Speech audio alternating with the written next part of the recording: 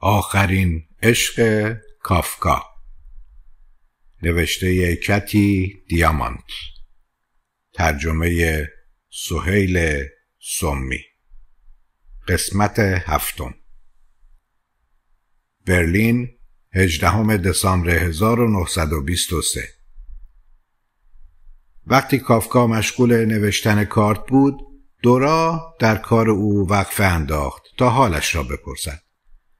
آن اواخر تبهای کافکا هر روز غروب به سراغش می آمد. کافکا بعد از آنکه خیال دورا را راحت کرد به سراغ یادداشتی که برای کلوب استاک می نوشت بازگشت. همین الان در مورد وضعیتم از من سوال شد و من در مورد سرم فقط می توانم بگویم مثل شیر یال درآوردم. آخرین نامه کلوپ استاک پر بود از سوال در مورد شرایط زندگی کافکا و اینکه چرا او دیگر نمی نویسد. روبرت نباید تصور کنی که زندگی من طوری است که انرژی و آزادی آن را دارم که هر وقت خواستم گزارشی بدهم یا حتی بنویسم. ژرفناهایی هست که حتی بیان که متوجه بشوم به درونشان سقوط می کنم تا بعد از مدتی طولانی فقط سینخیز خودم را به سر گودال برسانم. کافکا دانشکده مطالعات زبان عبری را برای روبرت به شکل پناهگاه صلح و آرامش در برلین وحشی و در هم و برهم و مناطق در هم و برهم ذهن توصیف کرد. کافکا پیش از پایان نوشته هایش از حال و احوال پوا بنتویم معلم جوان زبان عبریش که روبرت از او یاد کرده بود جویا شد. خیلی خوب است که تو پوا را خواهی دید. شاید به این نف من هم از او خبری بگیرم. ماهاست که نتوانستم با او تماس داشته باشم. چقدر از من آزرده شده. و بعد از امضای نامهش میافزاید دانشجوی دیگری هم هست که می‌خواهد سلامش را زمیمه نامه کند. برای نخستین بار در یکی از نامه های کافکا دورا به طور خلاصه به روبرت که تا آن لحظه او را ندیده بود دو کلامی به عنوان سلام نوشت و نامه را به اسم خود امضا کرد. حالا که مکس و اوتلا هر دو دورا را میشناختند و دوستش داشتند کافکا در نامه هایش به آنها بیشتر از او یاد می‌کرد و ته نامه ها جا میگذاشت تا دورا هم بتواند سلامی برساند و یادداشتی کوتاه اضافه کند. 6. زمستان مرگبار. تو به من تعلق داری؟ من به تو. ما یک پارچه ایم. چه چیز می‌تواند به ما آسیب برساند؟ فرانس کافکا آشیان. برلین اشتگلیتس ژانویه 1924 دورا و فرانس آخرین روز سال 1923 را تنها جشن گرفتند اما نه در سکوت. کافکا به والدینش نوشت من هم در جشن سال نو شرکت کردم البته فقط از روی تختم. از پنجره باز ساعتها سر و صدای شدید می آمد بدون توجه به هوای یخ آسمان پر از نور آتشبازی بود و از سر تا سر محله صدای موسیقی و فریاد سرخوشی می آمد. کافکا پیش از کریسمس بیمار شده بود. اما در نامهشان را دست کم گرفت. آن تب هم که حالا دیگر مسئله قدیمی است و به سرعت قطع شد در همان دومین روز. آپارتمان آنقدر هم که فکر می‌کنید سر نیست. من درست کنار دستگاه حرارت مرکزی نشستم که خیلی خوب است. کافکا می‌گوید غذایی که دورا آماده می‌کرد عالی بود.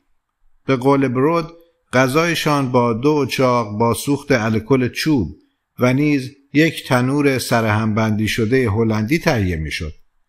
به دلیل کمبود سوخت برای اجاق خوراکپزی الکل چوب گیر نمی آمد و دورا مجبور شد دوباره دست به ابتکار بزند. کافکا در نامه به اوتلا می نویسد تغذیه هم که در موردش سوال کرده بودی همچنان عالی و متنوع است. آشپزی خیلی آسان است. در آستانه سال نو برای اجاق هیچ الکل گیر نمی آمد. هرچند موقع خوردن تقریبا سوختم. غذا روی شعله های شم گرم می شد. احتمالا اوتلا بود که در بازگشت به پراگ بعد از ملاقات اواخر نوامبر خبر دورا را به والدینش داد. وقتی هرمان و جولی فهمیدند که پسرشان چگونه توانسته در برلین زندگی کند و چرا تا آن حد اصرار به ماندن دارد بدون شک بسیار ناراحت شدند. حتما دفاع اوتلا از شخصیت و نیات دورا خیلی قانع کننده بود که والدین کافکا حمایت خود را از او با بسته هایی که برایش میفرستادند قطع نکردند. بسته کریسمس چنان با شکوه بود و چنان چیزهای خوب و شیرین و آبدار و گران قیمت در آن بود و محتویاتش چنان خوب انتخاب شده و در کنار هم چیده شده بودند که اگر قرار بود بسته دیگری از راه برسد به خصوص بسته هایی با کره های بیشتر دیگر خیلی زیاد خیلی گران خیلی پرتجمل و خیلی حقارت آمیز می شد. البته من جبران می کنم اما با این کمیت شما کار را برایم خیلی دشوار می کنید. کافکا در ادامه برای اولین بار در نامه به والدینش به دورا اشاره می کند و می راستی از میان تمام بسته ها ده از ده از کیک های کوچک خیلی خوشش آمد. در هفته قبل از کریسمس نیز بسته عالی از لوازم خانه به دستشان رسید. کافکا در نامه تشکر به اوتلا به هیجان می‌گوید پانزده کیلوگرم یعنی در این بسته چه چیزهایی ممکن است باشد کافکا ذهنش را در پی به یاد آوردن دارایی های اوتلا جستجو می کند. تو واقعا این همه چیز نداری. حق با کافکا بود. محتویات سخاوتمندانه داخل بسته از خانه های کل خواهرها جمع شده بود. کافکا می نویسد عجیب این که قاب دستمال ها و رومیزی ها بیش از همه وسایل ده را تحت تاثیر قرار داد. می گفت بیش از هر چیز دلش می خواهد گریه کند و راستش کم و بیش همین کار را هم کرد. با این حال والدین کافکا هنوز در مورد مهاجر جوان لهستانی این دختر فراری از محله یهود نشین که پسرشان با او زندگی می‌کرد شک و زن داشتند. ورا یکی از خواهرزاده های کافکا دختر اوتلا که در آن زمان بچه بیش نبود در دوران بزرگسالی به یاد می آورد که پدر و مادر بزرگش به زنان یهودی شرقی و نیز عشق خارج از حوزه ازدواج به دیده تحقیر می نگریستند. به نقل از ورا وقتی کافکا بعد از آن نخستین بار در سال جدید دوباره بیمار شد والدین او حتم یافتند که دورا به او غذاهای ناجوری داده است. دورا می‌خواست پزشک خبر کند. در دو هفته نخست ماه ژانویه کافکا هر شب به شدت تب می‌کرد. دچار سرماخوردگی و مشکلات رودهی شده بود و صرفه های زجرآورش تا خود صبح ادامه میافت کافکا مدام نگران بود که نکند بیماری از او به دورا سرایت کند سرانجام با خواهش های دورا یکی از پزشکان معروف را که استاد دانشگاه هم بود و او را به کافکا توصیه کرده بودند به بالین او آوردند. کافکا در نامش به ماکس نوشت خوشبختانه او خودش نیامد بلکه دستیارش را فرستاد. جوانی که هنوز سی سالش هم نشده بود. او به جز تب چیز دیگری تشخیص نداد و دستور داد فقط استراحت کنم و منتظر بمانم. او به خاطر این ایادت 20 مارک یعنی 160 کراون چک درخواست کرد. دورا یک نگاه به صورت حساب انداخت و گفتگوی طولانی و ظاهرا ثمربخش با او آغاز شد. کافکا برای ماکس نوشت بعد د با مذاکره قیمت را به نصف تقلیل داد. از آن موقع ترس من از بیماری ده برابر شده. یک تخت درجه دو در بیمارستان یهودیان روزانه 64 کران تمام می شود. اما این فقط شامل هزینه تخت و شام و نهار است. اما نه خدمات و عیادت پزشک. مایه اصلی نگرانی پول بود. ثبات ارزش مارک آلمان تنها مزیتی را که کافکا از آن بهره بود از بین برد. نرخ سودمند تبادل کران به مارک و قیمتها نیز بیوقفه رو به افزایش داشت. کافکا به گلایه به ماکس می‌گوید اگه می‌خوای اینجا زندگی کنی باید مارک طلا به چنگ بیاوری. اما افزایش قیمتها در هر حال جنبه های خوبی هم دارد. یعنی جنبه آموزشی دارد. انسان متواضع تر می شود. نه در مورد غذا که در حوزه اختیارات من نیست چون بهترین و گرانترین غذاها را می خورم. و به جز این نتایج خوب دیگری هم دارد که بدن سرکش با آنها مقابله می کند. برنامه دعا بین خودشان به یک آین و مناسک تبدیل شده بود. هر شنبه شب. دورا می‌گوید پس از چهار ماه فرانس دعای پروردگار ابراهیم را از بر شده بود. درست مثل کودکی که داستانهای پریانی را که بارها و بارها برایش تعریف کرده باشند از بر شده باشد. این دعا که زنان یهودی از پی قرنها در پایان سبت خوانده بودند به آنها نهیب می‌زد در هفته جدید روح معنوی را به زندگی مادیشان بدمند. پروردگار ابراهیم و یعقوب و اسحاق کاری کن که مؤمنان در سراسر دنیا هفت روز توأم با اقبال و بختیاری داشته باشند. هر شنبه کافکا بدون استثنا از دورا می‌خواست و دورا هم آن را برایش می‌خواند. سبت عزیز و مقدس و پربرکت ما میگذرد. باشد که هفته عزیز و دوست داشتنی توأم با سلامتی و حیات و ثروت و شرافت و کردار خوب و منافع خوب برای همه باشد. برای من پدرم مادرم خواهرم و برادرم و برای همه و همه. دورا می‌گوید کافکا نه تنها به دعا گوش می‌کرد بلکه در آن مشارکت هم داشت. در بخشی از دعا سرش را به شکلی موزون تکان می دهد. موزون اما خیلی آهسته. طوری که من هماهنگ با حرکات سر او زرباهنگ کلامم را کن می کنم تا به تدریج به پایان دعا برسم. واکنش کافکا نسبت به این دعا دورا را متوجه میزان اعتقاد و ایمان کافکا کرد. دورا می‌گوید از اینکه هرگز دعای مؤمنان را نیاموخته بود به شدت احساس خسران می‌کرد به نظر دورا راه کافکا در زندگی بسیار دشوارتر شده بود چون او هرگز در آینهای دعای جمعی شرکت نکرده و ایمان عمیق جماعت آبدان را تجربه نکرده بود. کافکا در خلال نخستین هفته ژانویه آخرین نامش را برای اوتلا نوشت. کافکا از اوتلا پرسیده بود از دوست او هیچ خبری دارد همان دانشجوی مجار پزشکی که فعلا تحصیلاتش را کنار گذاشته بود تا در روزنامه ماکس پراگر تاگبلات ترجمه های ادبی چاپ کند. کافکا پرسیده بود این کلوپستاک چه برنامه دارد؟ گمانم اوضاعش خیلی خیلی بد باشه. در این هوای سرد سگ دو زدن دنبال درآمدهای نامطمئن. کدام قهرمانی است که از پس این شرایط براید به علاوه در عین نیاز همیشه گرایش شدید و قابل درکی نیز به وسیلهی تجملی و محشر دارد.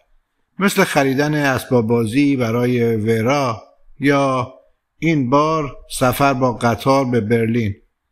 یعنی من باید او را ترغیب کنم؟ ده می‌گوید پیدا کردن جای خوابی دو روزه برای او چندان دشوار نخواهد بود. برای دو روز به دست آوردن غذا هم ساده است. اما آیا با وجود هزینه گذاف سفر باید او را به انجام این کار ترغیب کنم؟ نه احتمالا این کار را نخواهم کرد. در پایان نامه دورا پینوشت خود را اضافه کرد. صدها و صدها سلام گرم. خیلی خستم. حالا هم انگار خوابم. شب بخیر. ترس کافکا به خاطر از دست دادن آپارتمان فوقالعاده زیبا بیدلیل نبود. هزینه های سعودی صاحبخانه را وادار کرد. اتاق خواب خودش تنها اتاق دیگر آپارتمان را هم اجاره بدهد. فرانس در اواسط ماه ژانویه به ماکس نوشت ما خارجی های فقیر که نمی‌تونیم چنین اجاره های گذافی پرداخت کنیم در یکم فوریه از آپارتمان من اخراج می‌شویم. عجیب این که کافکا از این دربدری اخیر به هیچ وجه مشوش به نظر نمی رسید. کافکا با سرخوشی به والدینش خبر داد از همین حالا دورنمای آپارتمانی دیگر را در نظر دارم. به همین شیوه با محیط پیرامون برلین آشنا خواهم شد و این به هیچ وجه بد نیست. در پرای اگر مجبور به نقل مکان می شدم حال خرابی پیدا می کردم. اما اینجا برایم مسئله زیاد مهم نیست. آنچه کافکا در ماه دسامبر معجزه زندگی با هزار کران مینامید در ماه ژانویه مستاق پیدا نمی‌کرد. او نمی‌خواست از برلین برود اما به تدریج به این فکر افتاده بود که باید نبرد با قیمتهای برلین را متوقف کند. رفتن از برلین به معنای ترک کلاس های ابری و تلمود بود. هرچند به اقرار خودش به راستی پیگیر این مطالعات نبود بلکه بدون کار اساسی و ضروری فقط به خاطر لذتش این کار را انجام می‌داد. تنها کاری که کافکا حتی تصورش هم نمی‌توانست بکند برگشتن به پراگ بود. این کار از نظر او به معنای شکست قطعی و نهایی بود. او پیشنهاد ماکس را در مورد بازگشت به بوهم گرم و پر از نعمت رد کرد. من چهل سال از گرما و احساس خوش بهرهمند بودم و نتیجه کار به هیچ وجه به تجربه دوباره این احساسات ترغیبم نمی کند. کافکا در توصیف شرایطش برای ماکس می نویسد اگر این موجود تا این حد فرسوده نبود تقریبا می توانستی از ظاهرش طرحی بکشی. در سمت چپ د که زیر بازویش را گرفته. در سمت راست آن مرد معلم زبان عبری هر نوع کاغذ خط خطی کردن ممکن است گردنش را سفت و سخت چون سنگ کند حال اگر زمین زیر پایش سفت می‌شد که پیش پایش نیز پر می‌شد لاشخورهای فراز سرش دور می شدند. طوفان آسمان فراز سرش آرام می شد. اگر همه اینها عملی می شد آن وقت شاید امکان ادامه موقت راه تا حدی وجود می داشت.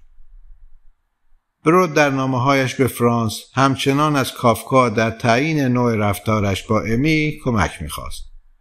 کافکا نوید داد البته من در حد هوشیاریم در مورد ا هر آنچه در توان داشته باشم به کار می‌گیرم. اما حد و حدود او هر آن محدودتر و کوچکتر می‌شد. برای همان روز ترتیب یک تماس تلفنی با امی داده شد. اما وقتش که شد نتوانست صحبت کند. دو درجه تب داشت و میبایست در بستر میماند. فرانس گفت چیز خاصی نیست. اغلب بدون پیامدهای پیشتر همینطور تب می‌کنم و تقصیر را به گردن شرایط آب و هوا انداخت. تا فردا بهتر می‌شد و بعد اقرار کرد با این حال مانع آزادی حرکتم می شود و ارقام حق ویزیت پزشک چون اعدادی آتیشین بر فراز تختم شناورند. کافکا پیش از پست کردن نامه هشت پینوشت مجزا بر آن افزود. آن هم چند روز پس از آن که نوشتن نامه را شروع کرده بود. ماکس یک بسته غذا برای او فرستاد که کافکا به خاطرش از او تشکر کرد و در این حال گفت که محتویات آن را نگه نداشته است. ده یک کیک بزرگ در آنجا پخت و آن را به یتیم خانه برد که سه سال قبل در آن خیاطی می کرد. شنیدم که این مسئله برای بچه هایی که در آنجا زندگی آری از شادی و توأم با غم و افسردگی دارند اتفاق بسیار بزرگی بوده است. این اولین هدیه کافکا به یتیمخانه نبود. در اوایل ماه اکتبر کمی بعد از رسیدن به برلین او 20 کران سرمایه‌ای نچندان بزرگ را به سرپناه کودکان اهدا کرده بود. کافکا پرسید ماکس در مورد ژورنالیست معروف مانفرد گیورک چه فکر می کند. او در مورد برود در یک گزیده که تازه در برلین چاپ شده بود مقاله نوشته بود. کافکا نوشته بود دورا مانفرد گیورگ را از برسلاو خیلی خوب می شناسد. حال او در برلین است و کنجکاو از نظر تو را در مورد خودش بداند. صرف نظر از تصور برود یا دورا در مورد گیورک او پس از مهاجرت به نیویورک در سال 1938 در ایالات متحده به شهرت رسید و برای مهاجرین آلمانی زبان هفتنامه ساختار را به روزنامه بسیار مهم و بزرگ تبدیل کرد. کافکا طبیعتا نگران بود. تنها پنج روز به تاریخ تخلیه آپارتمانشان در گرونوالدشتراسه باقی مانده بود و آنها هنوز جایی برای زندگی کردن پیدا نکرده بودند. کافکا در نامه 26 ژانویه به کلوپستاک نوشت در حال حاضر دچار مشکل آپارتمان هستیم. این همه آپارتمان اما اجاره آپارتمان های خوب بسیار بیش از حد توان ماست. بیش از بزاعت ما و ما بقیه آپارتمان ها هم که تعریفی نیستند. کاش می توانستم پولی در بیاورم. اما در اینجا هیچ کس بابت دراز کشیدن در تخت تا ساعت دوازده پولی به آدم نمی دهد. هنرمند جوان برلینی که تیل او را به کافکا معرفی کرده بود توانسته بود در میانه آن آشوب اقتصادی برای خود کاری خوب پیدا کند. حرفه‌ای که کافکا تحسینش می‌کرد. او اقرار می کند به خاطر این مسئله بارها به او قبطه خوردم. او فروشنده دورگرد کتاب است. حدود ساعت ده صبح به غرفهش غرفهش می رود و تا غروب همانجا می ماند. نزدیکی های کریسمس روزی ده مارک در می آورد. اما حال درآمدش روزی سه یا چهار مارک است. روز بعد مشکلشان حل شد. دورا جای جدیدی برایشان در نظر گرفته بود. در 28 ژانویه کافکا به فیلیپ ولچ نامه ای نوشت. درست است که فقط وقتی نقل مکان می کنم به تو نامه می نویسم. از ترس اینکه نکند یکی از نسخه های نشریت را از دست بدهم. در یکم فوریه یعنی برای نشریه بعدی آدرس من از قرار زیر است. احتمالا دچار اشتباه شدم و اجاره نجومی نیز مجازات من است که البته با توجه به شرایط اجاره ها و شرایط این آپارتمان چندان گران نیست. اما در حقیقت در حد توان ما نیست. و اشتباه هم نیز رفتن به خانه نویسنده ای درگذشته است. دکتر کارل بوسه او در سال 1918 درگذشته است. که دست کم اگر در دوران زندگیش مرا میشناخت از من منزجر می‌شد. خانه جدید متشکل از یک اتاق بود و بهره کل ساختمان از زیبایی از آن یک اتاق هم بسیار کمتر بود. خانه بیدر و پیکر و دو طبقه متعلق به بیوه میانسال دکتر بوسه بود. نویسنده نورومانتیک و منتقد ادبی که در چهل و هشت سالگی درگذشت. به حد اگر دکتر بوسه می‌فهمید نویسنده مدرنیست و دوستش بیان که ازدواج کرده باشند زیر یک سقف در خانه او زندگی می‌کنند تنش در گور میلرزید. کافکا به فلیکس نوشت اما به هر حال دارم نقل مکان می‌کنم. دنیا همه جا پر از دام و خطر است. پس بگذار که این دام خاص نیست از تاریکی های ناشناخته ترین خطرها براید. زلندورف محله ایانی بود.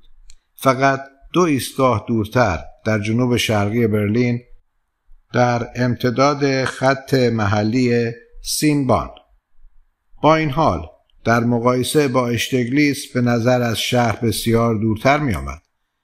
آنجا تا ایستگاه هوایی تلتدام روبروی بلوار مستقیم و عریضی که به پوتسدام می رسید راه زیادی بود. مسیر از پارک جنگلی و از خیابان طولانی هایداشتراسه که امروز به بوسه علی معروف است میگذشت. منطقه با ویلاهای با شکوه و امارتهایی پراکنده در گوش و کنار خیابان عریض. تابستانها آنجا خیلی قشنگ می‌شد. جنگلها و دریاچه های زلال زیادی در آن نزدیکی بود. مکانهای عالی برای پیاده روی. خانه محتابی دلنشینی داشت. جایی که وقتی هوا گرمتر می‌شد کافکا می توانست آنجا بیرون از خانه بنشیند. اما حال هوا سوزی گزنده داشت و کافکا به ندرت از خانه خارج می شد. برلین زلندورف اول فوریه 1924 پنجشنبه یکم فوریه همان روزی که کافکا و دورا فلخرجی کردند و سوار تاکسی شدند تا آنها و متعلقاتشان را به آپارتمان جدیدشان منتقل کند از لودویک هارت که شنبه شب در مسترهال برلین برنامه اجرا کرد تلگرافی به دست آنها رسید. کافکا خیلی دلش می‌خواست برود. به نظر او هارت این خطیب معروف جادوگر بود. اجرا کننده ساهر شعر و ادبیات و خادم کلمه. او اشعاری را که زیر گرد و غبار قراردادها مدفون شده اند احیا می کند و به آنها زندگی می دهد. او مرد بزرگی است. دعوت هارت کافکا را به هیجان آورده بود.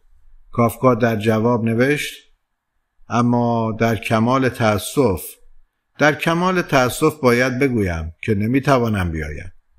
نه تنها به این دلیل که همین امروز بعد از ظهر نقل مکان کردم با تمام خرت و خانواده بزرگی که دارم بلکه عمدتا به خاطر اینکه بیمارم و تب دارم و در خلال این چهار ماه گذشته در برلین شبها هرگز از خانه بیرون نیامدم.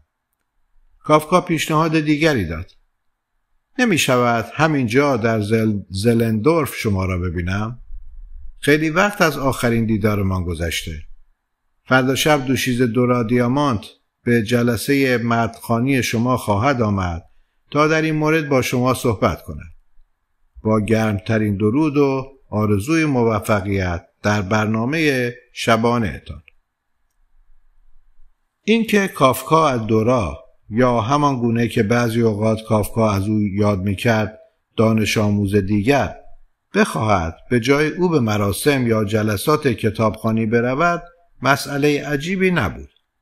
دورا که برنامه به خوبی در ذهنش نقش بسته بود همه چیز را برای او توصیف می‌کرد. کافکا همانقدر لذت می برد که پنداری شخصا در آن مراسم شرکت کرده بود یا حتی بیشتر. بعد کافکا همیشه دورا را به خاطر استعداد ذاتیش در بازیگری می ستود.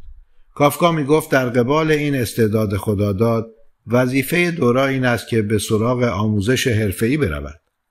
داشتن کار و حرفه در تئاتر حرفه‌ای که زمانی یک تصور رمانتیک محال و غیر ممکن تلقی می‌شد حال به رویایی تبدیل شده بود که در تخیل دورا ریشه داشت چند روز پیش از آن نیز یکی از دوستان کافکا زنی بازیگر به نام میدیا پینس دورا را به شرکت در جلسات آموزش بازیگری تشویق کرده بود پینس در یکی از گالری های برلین برنامه اجرا کرده بود و دورا به تنهایی به تماشای آن نمایش رفته بود چون حال کافکا خوب نبود. میدیا که برای رزق و روزیش در پراگ معلمی می‌کرد داشت داستان زندگی زاهد را در برادران کارامازوف اثر داستایوفسکی اجرا می‌کرد و کل آن حرفها را از بر می‌خواند. دورا از تماشای اجرای میدیا بسیار لذت برده و آرزو کرده بود خودش نیز به روی صحنه برود. شنبه شب دورا برای تماشای اجرای لودویک هارت به مسترهال رفت. دورا در جیبش نامه دوم فرانس خطاب به هارت را داشت و امیدوار بود این کار اشتباه روز قبلش را توجیه کند. کافکا نوشته بود لودویک هارت عزیز هم حال داستان بانوی جوان و بسیار نگونبخت را شنیدم. حتی کلمه وابسته بسیار نیز به خوبی بیانگر حال خراب دورا نبود.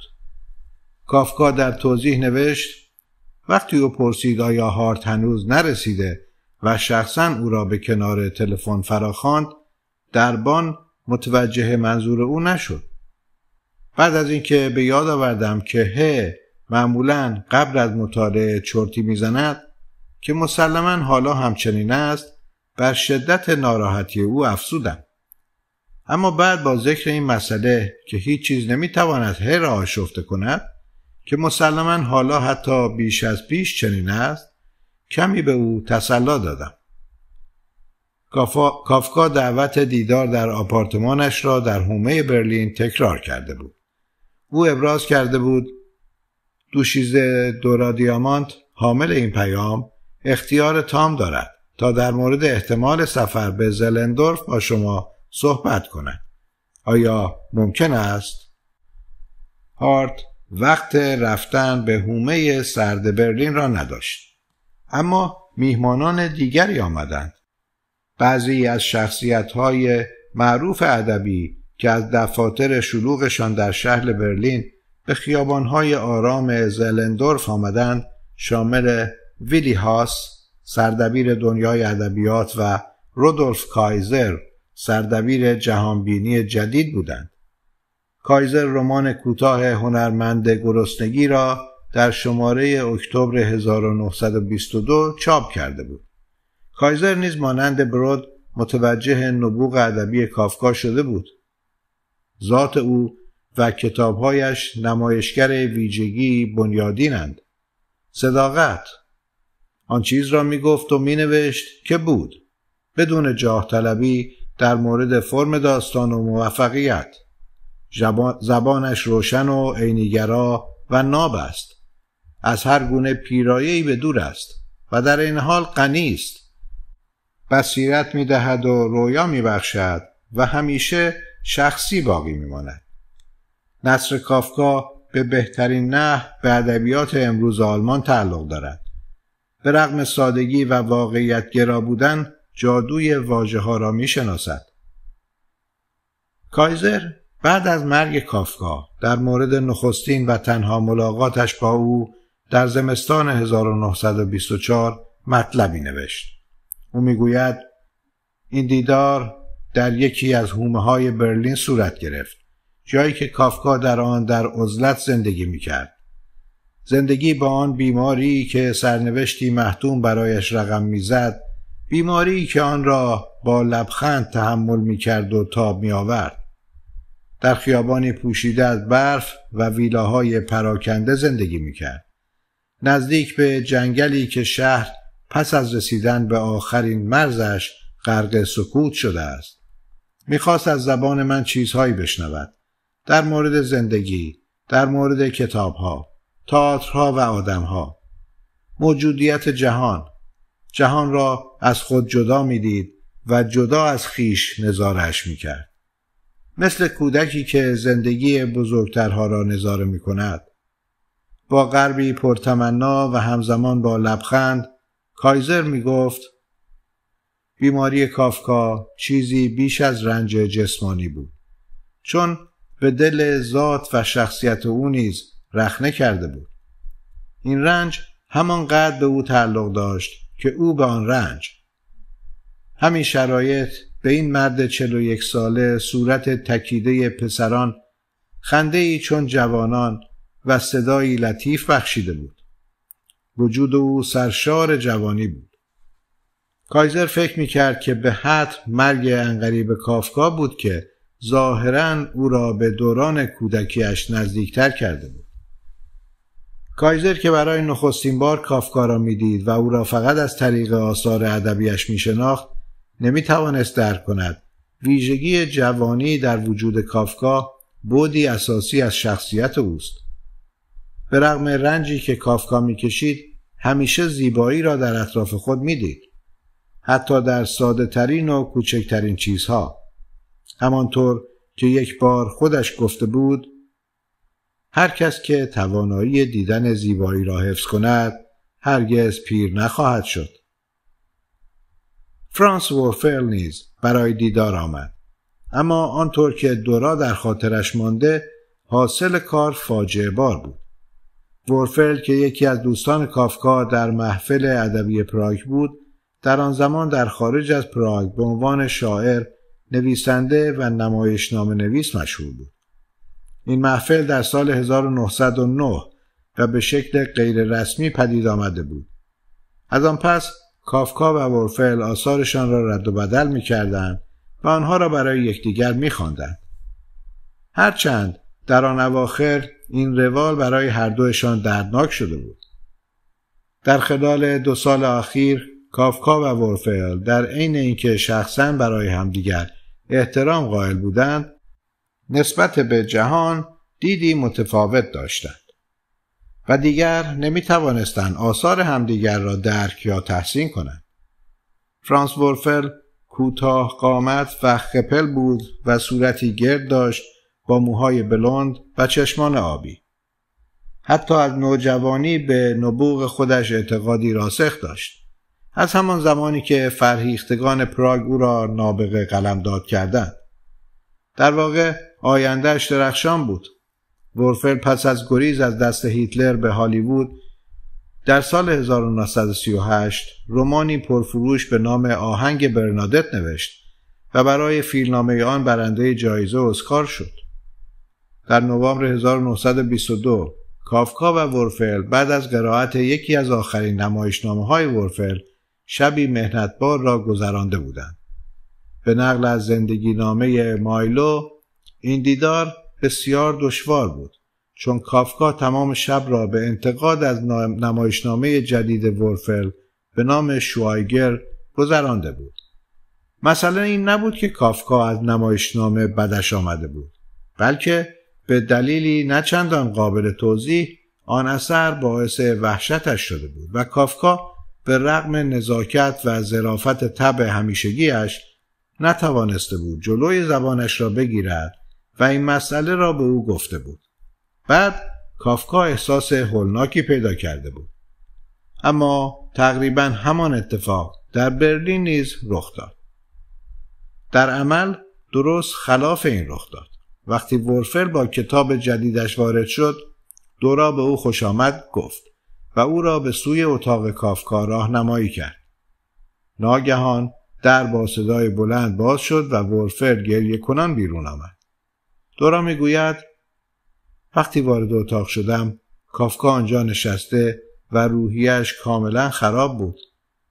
چند بار زیر زبانی تکرار کرد یعنی چنین چیز هولناکی چطوری رخ داد. او نیز اشک میریخت. دورا به سرعت متوجه شده بود که چه اتفاقی افتاده است. او گذاشته بود ورفل برود بیان که توانسته باشد حتی یک کلمه در مورد کتاب او صحبت کند. وقتی پای ادبیات در بین بود درست مثل خود زندگی کافکا بی اختیار مته به خشخاش میگذاشت. دورا می‌گوید درست همانطور که فرانس ورفل با چشمان خیس از اشک و بعد از آخرین دیدارشان از اتاق او بیرون رفت هر کس که کارش را به دست کافکا میسپرد یا به شدت تشویق می‌شد یا نومید و سرخورده. حد واسطی وجود نداشت. او حتی در مورد کارهای خودش نیست به همین اندازه با شدت و حدت برخورد می‌کرد. به نظر دورا کافکا هرگز تصور نمی‌کرد به آنچه می‌خواسته دست یافته است. دورا چنین استدلال می‌کند که کافکا دقیقا به همین دلیل خواستار نابود کردن آثارش بود. وقتی در زلندورف زندگی می‌کردند دورا کارهای کافکا را میسوزاند. دورا این کار را از سر عشق انجام می‌داد.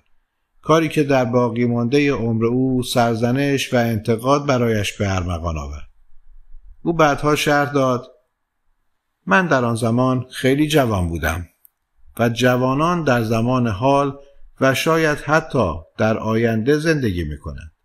به هر حال از نظر او اینها همه فقط آزادی شخصی بود.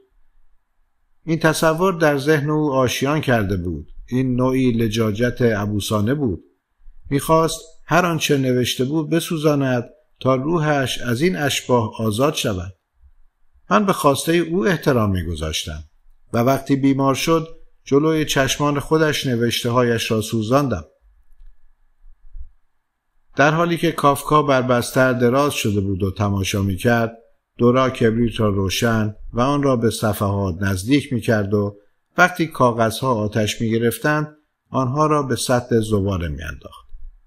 دورا از خود کافکا نقل می کند و می گوید چیزی که او واقعا می‌خواست بنویسد بعدها نوشته می‌شد بعد از آنکه آزادیش را به دست می آورد.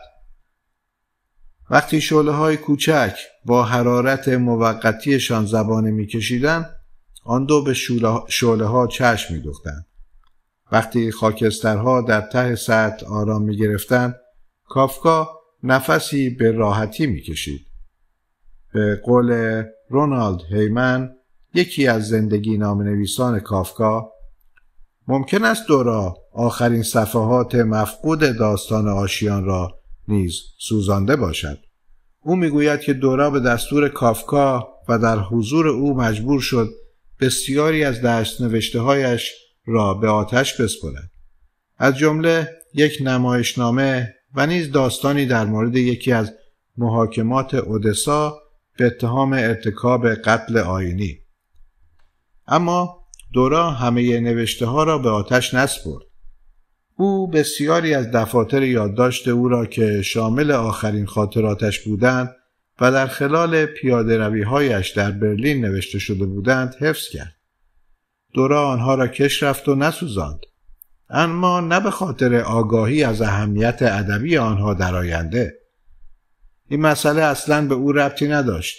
آنچه برای او مهم بود این بود که کافکا با سوزانده شدن آثارش نوعی حس توازن و تعادل را تجربه می‌کرد. خود او یک بار گفته بود به حال آنچه آدم می نویسد خاکسترهای تجربهش هستند. ماکس برود بعد از سومین و آخرین دیدارش با کافکا در برلین با نگرانی بسیار عمیق از خانه آنها رفت. روحیه کافکا هنوز خوب بود و فقط با لحنی شوخ از مشکلاتش یاد می‌کرد. اما سلامتیش به سرعت رو به وخامت رفته بود و خودش و دورا هیچ یک با شرایط برخوردی واقع گرایانه نداشتند. کافکا که تقریبا زمینگیر شده بود و با فقری نکبتبار زندگی می‌کرد به محض اینکه از راه قراردادش چند پنسی در میآورد می‌خواست قروز خانوادگی را پرداخت کند. به گفته برود کافکا شرایط واقعیش را از خانوادهش در پراگ که سخت نگرانش بودند پنهان می‌کرد. برود می‌گوید امکان نداشت آدم بتواند چشمانش را به روی وضع جسمانی و سلامتی فرانس و اینکه حالش مدام وخیمتر می‌شد ببندد. هرچند که توازن روحیش همچنان برقرار بود. از جدایی از بهشت برلین متنفر بود. اما وقتی ماکس از برلین به پراگ بازگشت با دایی کافکا دکتر زیگفورد لویی تماس گرفت و در مورد وخامت شرایط فرانس به او هشدار داد.